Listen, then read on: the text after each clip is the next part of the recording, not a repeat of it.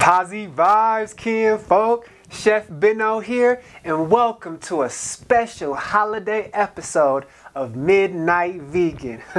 Za!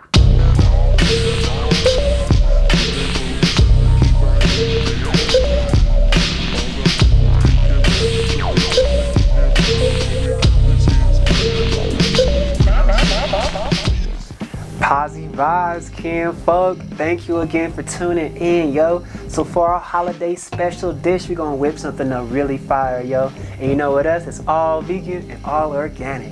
So for our main dish, we let some chickpeas or some garbanzo beans soak overnight. We're gonna go ahead and churn and mix those up and bake them and turn them into one big old falafel loaf. We're gonna drizzle that with some eggplant and tahini dip, yo. That's gonna be fire. To go along with that, we got these big old Barilla jumbo shells and we're gonna stuff them. We're gonna stuff them with some butternut squash, some zucchini, some peppers that when we saute them up, some collard greens, some homemade tomato sauce, and our vegan cheese, baby. Oh, it's gonna be like a little pocket lasagna, baby. Oh, I'm so excited, yo. And for dessert, we're gonna go ahead and make our own homemade cranberry sauce, a little bit of orange, apple, star anise. Ah, yes, yes, yes. Um, and to go along with that, we're gonna do some cornbread with jalapeno and cream corn mini muffins, yo. Hey, can you dig it? All right, baby, let's get to cooking, yo. Ho, ho, ho. Who you calling a ho?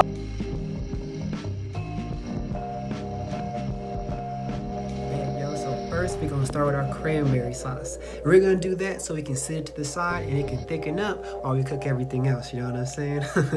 Quarantine thick, yo. zah zah. So what I got here, I got about you know six bags of cranberries. I got a lot of cranberries because I'm gonna save some of this for later. Um, so what I'm gonna do is I'm gonna put them in two separate bowls. And per bowl, I'm gonna put uh, two apples in. We're gonna peel these. We're gonna cut these down. We're gonna do one orange for the zest and the juice as well as we're gonna need some star anise, about two star anises per bowl, and probably about a pinch of cardamom to go in there as well. A little bit of salt and pepper, and a cup of sugar in each bowl. And yeah, yo, that's all she wrote. Oh, probably add a little bit of pomegranate juice, or you can do some wine if you want to, because what we're gonna do with the star anise and the sugar is make a caramel first, and the wine and the juice is gonna help get all those sticky bits to actually adhere a little bit better. Zah, yo, all right, so make sure you got your cranberries all nice and washed. And now let's go ahead and put them on the eye. Zah, zah. Zah, yo, bet. So what we're gonna do first is I got my two pots right here. We're gonna put a cup of sugar in each. This is a coconut sugar. So you got a cup in each. And then we're gonna take one of these star anises or anisai. I, I'm not sure. I'm not sure how you say it, right? So these are cool, strong, strong, but it's gonna give it a nice potent pop to it. So what we're gonna do, we're gonna put two of those in there. And then we're gonna put a dash of cardamom in there as well. The cardamom, sweet smelling, right? That's gonna be fire. and what we're gonna do, we're gonna let this cook all the way down until it gets to a nice gooey caramel. And we'll know it'll be smelling fire on us, I tell you what. So once that gets down, we'll then add our cranberries in. And I got my eye right now at about medium, medium high. So you can work with what you got at home. Nice, the caramel is like that dark, dark brown color. That's beautiful. Now we can go ahead and add our cranberries in, yo. Zop, zop, zop, zop. Oops, drop one. Man down. Nice, so let those cook down a little bit while we, where'd it go? While we uh, chop up our apples. All right, so we took two diced apples, sliced them up, peeled them, threw them into both of our pots of cranberry, stirred it up real, real good. Now we're gonna add a little bit of salt and pepper just to bring the dish together. A little bit of pepper to it. Change the game, salt and pepper. Wars have been fought over salt and pepper. We'll stir this up, and the last thing we're gonna do is take some zest of some orange, and then squeeze the orange in here as well. Add a little bit of pomegranate juice, and then let this cook all the way down. Ooh, smells good. Let's go ahead and add some zest of orange to each one, and then we'll cut the orange in half and add the orange juice too. All right, Posse. There we go, folks. We got our vegan cranberry and orange zest compote. Ooh, that's looking good. Let it cook down a little bit more. Add it to our jars and can it up. And maybe add some special oil for the folks who are trying to get really loose. Ha ha! Bouncy vibes.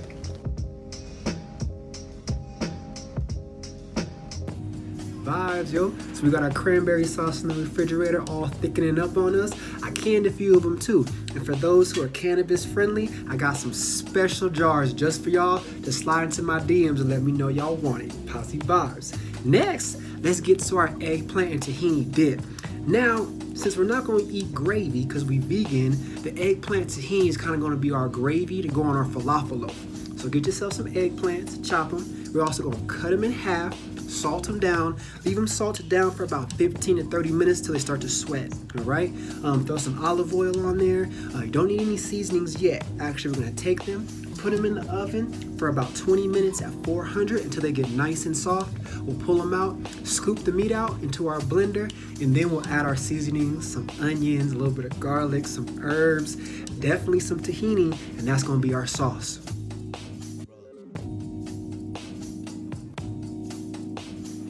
Got our eggplant right here, all baked up. Now what we're gonna do, we're gonna cut the meat out. So this is just the meat section of the eggplant. Deliciousness right here. It's like if you had some lobster, bruh, you just pull that out fresh, vibes. So we're gonna do that with all of our eggplants and throw it in our blender. And then we're gonna be adding a little bit of sriracha, mm -hmm, a little bit of the za'atar uh, Mediterranean seasoning, which is basically some sesame seeds, some olive oil, some herbs. It's just delicious. And lastly, the tahini. The tahini is gonna make it really, really delicious. It's gonna give you the protein you need as these us vegans out here. And we'll blend all that up and put it to the side, and it'll be our gravy to go on our falafel. Vibes, yo, so before I forget, when it comes to our tahini eggplant dip, what we're also gonna do, we're gonna add in about half of a red onion. Um, and for seasonings, we're gonna do some rosemary, some thyme, also some ginger, and of course salt and pepper. Now when it comes to the sriracha and the za'atar, it's really just a squirt of this to help with the color and give it a little bit of, uh, of hot flavor to it. The za'atar, about a spoonful of this, and then about two to three spoonfuls of tahini till we get the right consistency we're going for. So yo, alright, let's season this thing up. Vibes. Boom boom. Man. Creamy deliciousness. Alright, let's throw this to the side. And what we gonna do next? Next, let's bake up our butternut squash. Vibes, yo. So up next, we got our classic butternut squash. I've already halved it, hold out all the seeds. So what I'm gonna do now is kind of uh, throw a couple of seasonings and some oil on it to give it a nice sweet taste. So we got our pumpkin spice, some cinnamon, um, some apple cider vinegar, a little bit of our monk fruit syrup, and of course the classic salt and pepper. So we're gonna go ahead and lather this down with some grapeseed oil um, or some olive oil, whichever you have. Throw our seasonings on, um, about anywhere from a teaspoon, half a teaspoon, depending. Definitely uh, half a teaspoon for the apple cider vinegar on each half. We don't want it to be too strong. And about a teaspoon of the syrup that we're gonna put on there. After we got that all decked out looking good, into the oven it goes at 475 for 45 minutes. Bet, yo. Into the oven they go.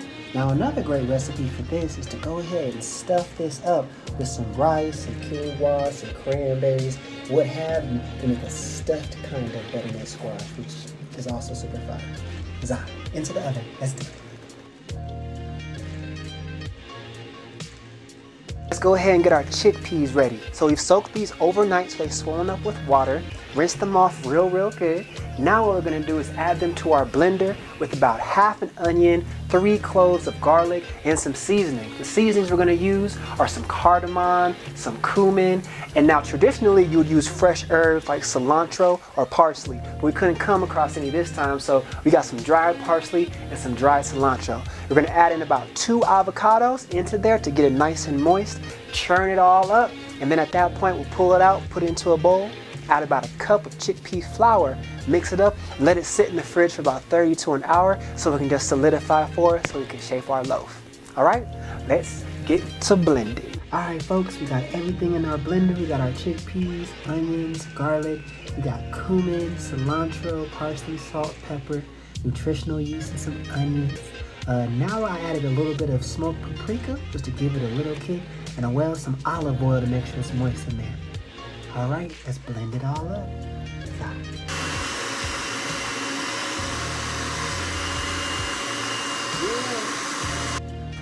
All right, now that we got all of our chickpeas mixed up with the herbs and seasonings, now we're gonna add about six tablespoons chickpea flour, into here. Mush it all up and about a teaspoon of baking soda. We'll let this sit in the refrigerator for 30 minutes, let it solidify some, and then we'll go ahead and make it into our loaf and bake it up. Vibes, kid folk. So up next, what we gonna do? We got some organic zucchini right here and some bell peppers. we gonna chop them up, do a quick little pulse chop in our blender, and then throw them in the pan, saute them for a quick minute, add some liquid smoke, a few more seasonings and herbs, and then put that to the side. This is gonna be one of our fillings for our jumbo shell pasta. Zayo, so let's get to chopping. Bada bing, bada boom. Now let's go ahead, throw this in our pan with a little bit of grapeseed oil and saute it up. Zah. Alright, yo. So let's add some seasonings to our zucchini mix, yo. So a little bit of salt, a little bit of pepper to put in there. Mm-hmm. Definitely gotta put the liquid smoke in there, yo. Give it that meat flavoring. That's gonna be fire. I'm also gonna put in a little bit of smoked paprika. Get you some. Get you some. Throw that in there. Oh yeah, what else we got here? Oh, this little paleo herb uh, blend. That's fire too. Mainly just got uh, garlic powder, uh, black pepper, onion powder, basil, oregano, lemon peel, celery thyme. Some good stuff. Just some good stuff to flavor it up. Bink, bink, bink. Oh man, fire, PK. Right, right, right, right. You know what I'm saying? So we'll stir this up. Cook it down some. Mmm, smells delicious. yes, and then we'll put this to the side.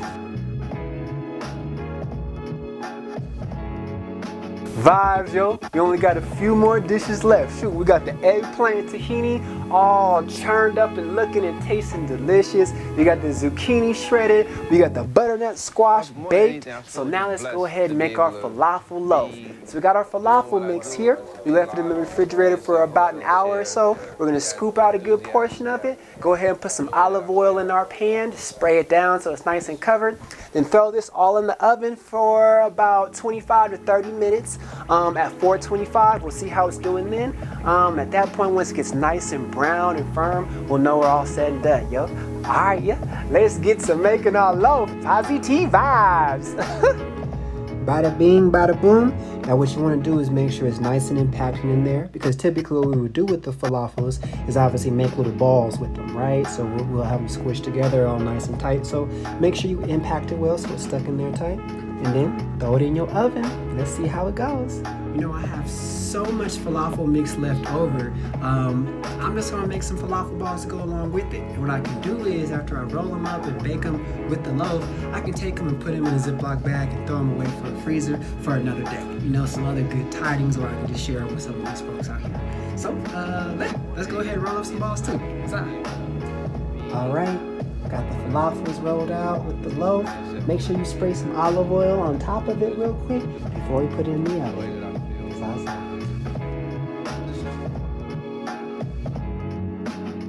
Vibes, kinfolk. Now that we got our falafels in the oven, let's go ahead and make our tomato sauce. So we got some organic cherry tomatoes, about three packs of those.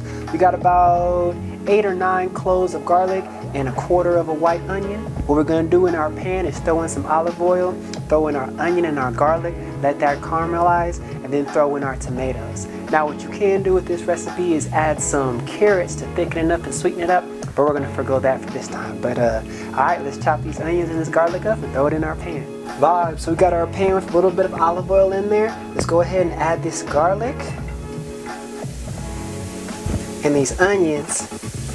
And when they start to caramelize and brown up, We'll then add in our tomatoes. Now you can also add in some green peppers and stuff, but since we're gonna have that already in our zucchini and in our falafels, I don't think we need to do it this time. Put all that in there and let it caramelize. Alright, our onions and our garlic have caramelized, added a little bit of salt and pepper. Now we're gonna throw in our tomatoes.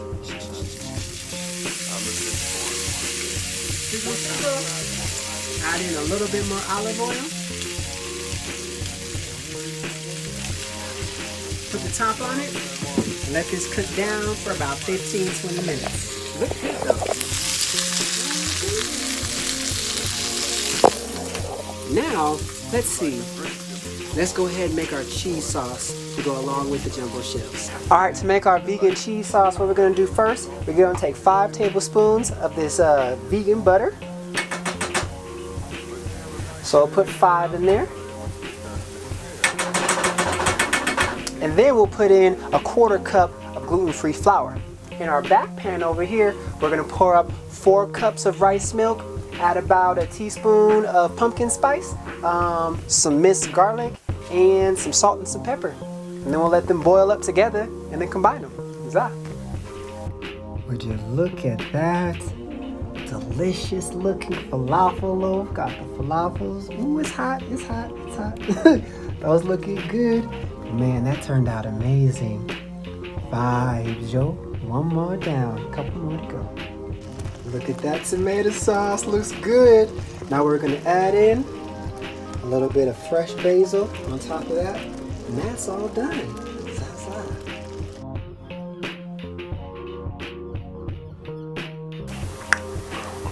Excuse me, I got a little falafel in my teeth. Dipped in the eggplant tahini. Yo, I know I'm getting ahead of myself. Sorry, sorry, but yo, that that's fire though, yo. All right, so um, our main dish, right? We got here is these Barilla jumbo shells. Unfortunately, I couldn't find them gluten free, so these are made with wheat durum flour. So you know you gotta keep that in mind. But they're pretty big, yo. Pretty big shells. We're gonna stuff them with everything we've made tonight. Some butternut squash, some zucchini. I got some old collard greens I canned up. I'm gonna put that in there, um, along with the tomato sauce and the cheese. So what we're gonna do with these first, we're gonna boil them um, in a pot of water for about nine minutes. Let them sit out and cool. And then we're gonna put them into our Pyrex dish, stuff them with our ingredients, drizzle the sauce and the cheese on top, throw them in the oven for about 30 minutes at 400 degrees.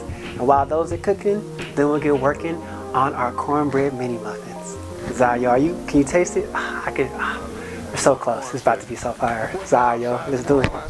Alright, so we got our big old jumbo shell noodles in here. We're gonna let them boil, like I said, for nine minutes, top off, and then we'll drain them, let them cool, and then start to stuff them.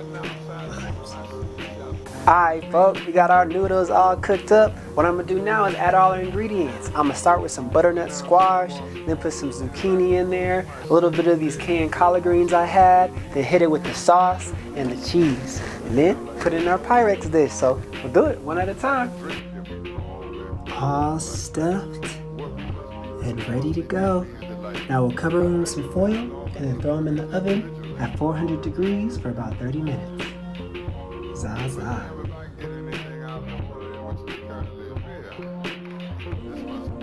Vibes, yo. We here at the very end. We're about to make our cornbread mini muffins. Now I got this Bob's Red Mill cornbread mix, so it already has baking soda and baking powder in it, so you don't have to add more to that. But we'll add a bag of this.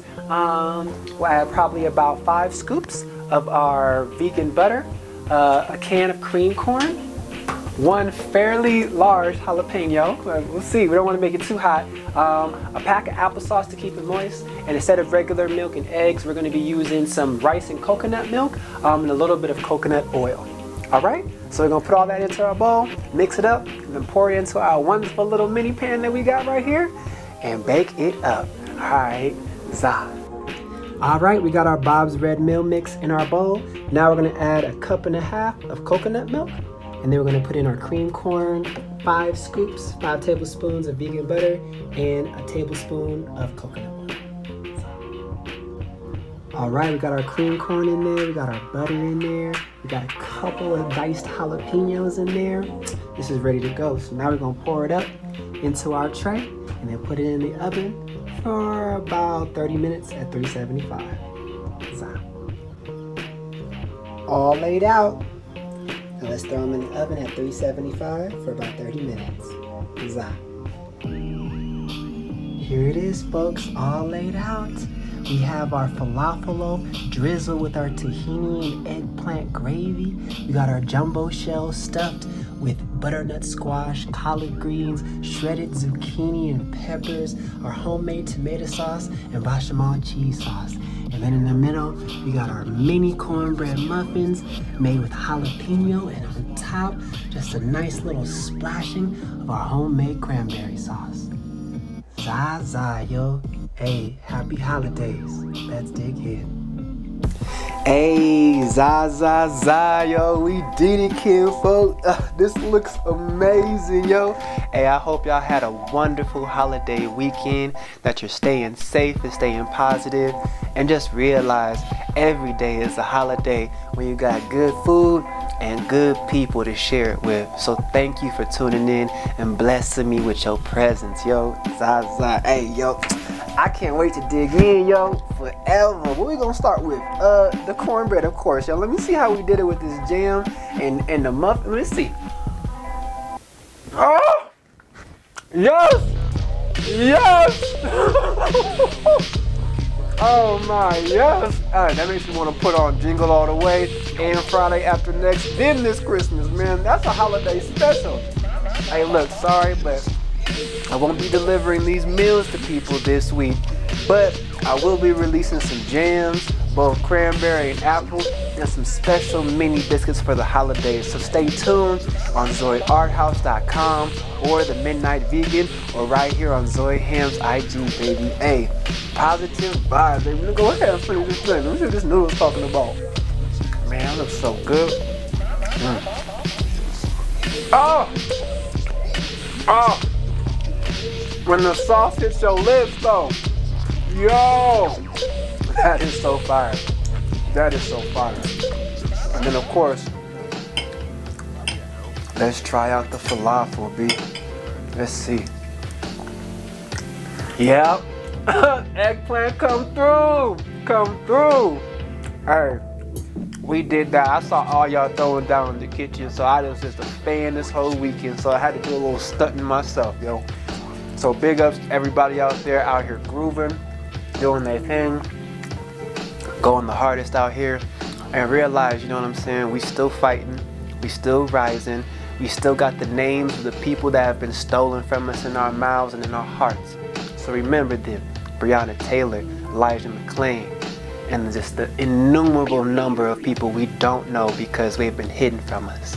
Recognize that it's a blessing to be here right now and I'm blessed to have you with me. Positive vibes, kinfolk. Always rise. Benham. Zah.